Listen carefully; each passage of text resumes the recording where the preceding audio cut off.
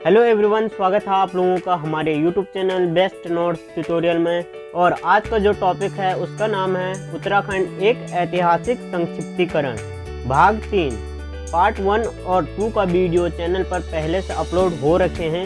यदि अभी तक आप लोगों ने वो वाले वीडियोस नहीं देखे तो जाओ डिस्क्रिप्शन बॉक्स में, उन सभी वीडियोस का लिंक है, और वहाँ भी अपना प्यार और सपोर्ट बनाए रखना। तो दोस्तों, बने रहिए वीडियो के साथ, और शुरू करने से पहले मैं आप लोगों से कहना चाहूँगा कि यदि अभी तक आप लोगों ने हमारा चैनल सब्सक्राइब नहीं किया तो जल्दी से जल्दी सब्सक्राइब कीजिए और बेल आइकन को प्रेस कीजिए। तो चलिए शुरू करते हैं। और और आपका पहला क्वेश्चन है, स्कंद पुराण में गढ़वाल के लिए प्रयुक्त नाम है? तो इसमें जो आपका सही आंसर होगा, वो होगा option number D oh sorry A Kedar Khand okay वैदिक काल में इस क्षेत्र को हेमवंत, महाभारत में उत्तर कुरु तथा पुराण काल में केदार खंड कहा जाता था। जबकि पुराणोत्तर काल में इस क्षेत्र को केदार मंडल, तपोभूमि व किरात मंडल आदि नामों से जाना जाता था। तो अगले क्वेश्चन पे चलते हैं। तो दोस्तों, अगला क्वेश्चन है, कालिदास ने अभिज्ञान सांकुतलम की रचना किस नदी के तट पर की थी? यह क्वेश्चन ये भी आ सकता है कि कहाँ की थी। तो आपका सही आंसर होगा ऑप्शन नंबर सी मालिनी नदी के तट पर। तो महाकवि कालिदास ने अपने महाकाव्य अभिज्ञान शाकुंतलम की रचना मालिनी नदी के तट पर की थी, जो कि कर्णवाश्रम में स्थित है। वर्तमान में इस स्थान को चौकाघाट नाम से जाना जाता है। तो अगले क्वेश्चन पे चलते हैं। तो क्वेश्चन है कि टिहरी गढ़वाल में ढांडक आंदोलन किन से संबंधित था? तो आपका सही आंसर होगा ऑप्शन नंबर सी मजदूरों से। इनके बारे में कुछ इम्पोर्टेंट तो है नहीं तो चलिए अगले क्वेश्चन पे चलते हैं। तो दोस्तों, अगला क्वेश्चन है, कुमाऊं का प्रथम कमिश्नर कौन था?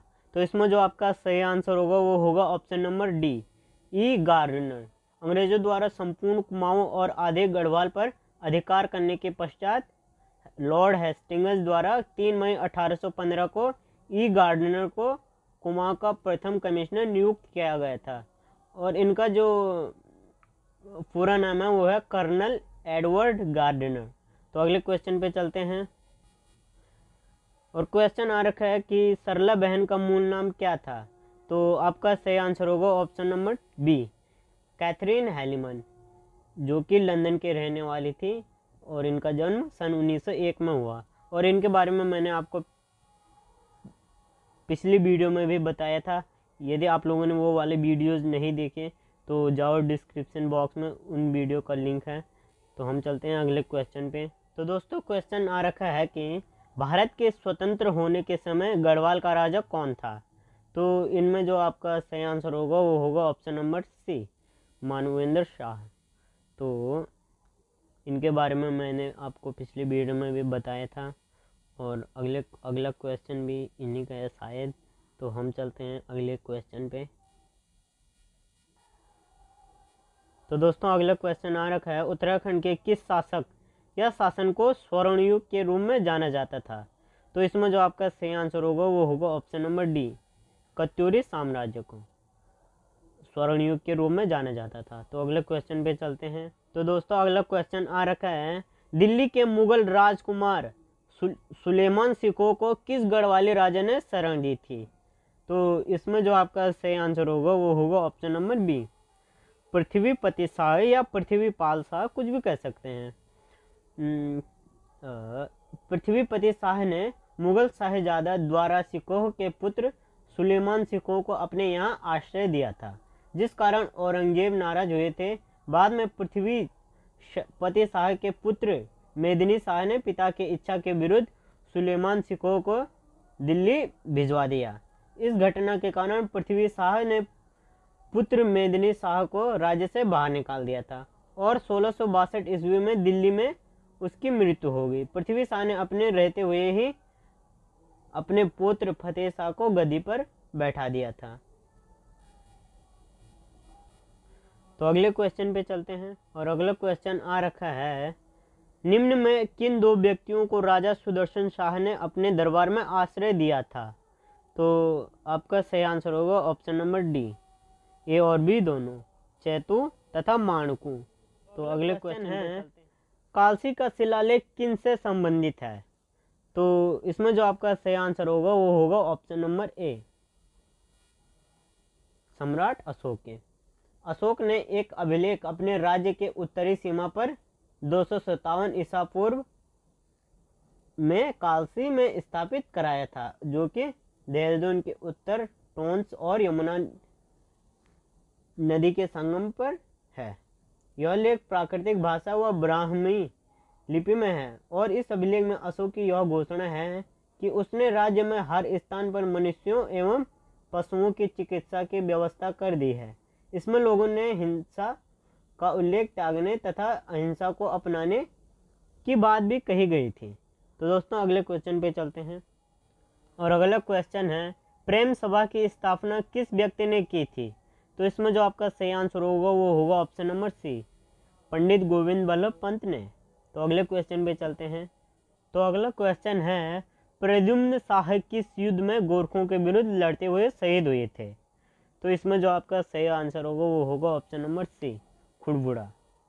Pradyumna Shah ने सहारनपुर में अपने आभूषण व बहुमूल्य सिंहासन बेचकर सेना को पुनः संगठित किया था चौदह मई 1804 को देहरादून के खुड़बुड़ा मैदान में गोरखाओं से हुए निर्णायक युद्ध में प्रद्युम्न शाह वीरगति को प्राप्त हो गए।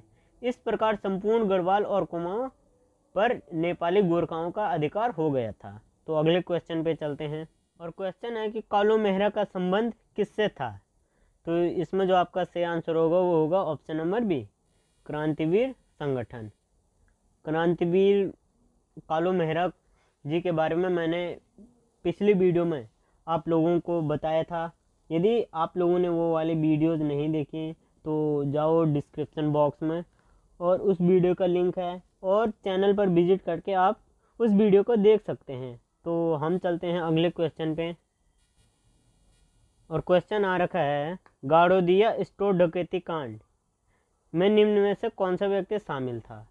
तो आपका सही आंसर होगा option number A Bhawani Singh. Gadodia store डकैती कांड में भवानी सिंह जी शामिल थे। तो अगले क्वेश्चन पे चलते हैं। और अगला क्वेश्चन है डोला पाल के आंदोलन निम्न में से किसके नेतृत्व में हुआ था? तो वो हुआ था option number D Jayanand Bharti. सामाजिक व्यवस्था के खिलाफ शिल्पकारों, यानी दलितों के इस आंदोलन का उद्देश्य सवर्ण दूल्हों के समान स्थिति को प्राप्त करना था। इस आंदोलन से पूर्व राज्य में शिल्पकारों को शादी या अन्य अवसरों पर डोला पालकी में बैठने का अधिकार नहीं था। यह व्यवस्था केवल उच्च वर्ण के लोगों के लिए ही था। दलित वर्ग का दूल्हा या दुल्हन पैदल ही जाते थे। इस व्यवस्था के खिलाफ जयानंद भारती के नेतृत्व में सन 1930 में के आसपास चले इस आंदोलन के बाद शिल्पकारों को यह अधिकार मिल गया। कहा जाता है कि सन 1911 में हरिप्रसाद ने यहाँ के दलितों के लिए शिल्पकार शब्द का प्रयोग किया था। इसलिए इनको दलित कहा जाता है, जो कि शिल्पकार थे। तो अगले क्वेश्चन पे चलते हैं। और क्वेश्चन है कि स्वतंत्रता आंदोलन में सल्ट की भूमिका की सराहना करते हुए किसने इसे कुमाऊं का बारदोली कहा था? तो ये क्वेश्चन का आंसर आप लोग भी जानते होंगे और नहीं जानते होंगे तो मैं बता दूँ। तो इसका जो सही आंसर होगा option number B Mahatma Gandhi. स्वाधीनता आंदोलन में सल्ट की भूमिका के लिए इसे महात्मा गांधी ने कुमाऊं का बारदोली की पदवी से विभूषित किया था। आज भी खुमांड में प्रत्येक वर्ष पाँच सितंबर को शहीद स्मृति दिवस मनाया जाता है। तो हम चलते हैं अगले क्वेश्चन पे। और तो अगला क्वेश्चन आ रखा है, प्रसिद्ध पेशावर कांड किस सन में हुआ था? तो आपका सही आंसर होगा ऑप्शन नंबर ए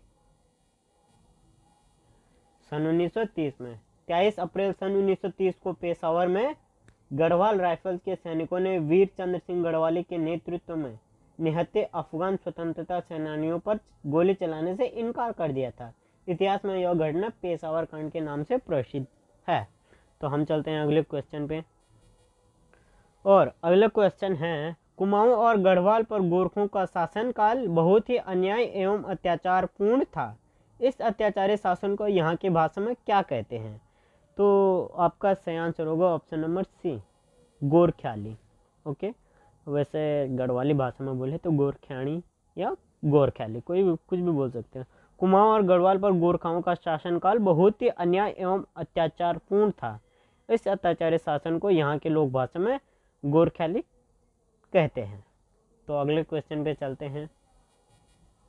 तो अगला क्वेश्चन है, निम्न में से किस पुस्तक में कश्मीरी राजा ललितादित्य मुक्त पीड़ सॉरी यहाँ पे ये है मुक्त पीड़ द्वारा गढ़वाल क्षेत्र को जीतने का उल्लेख है।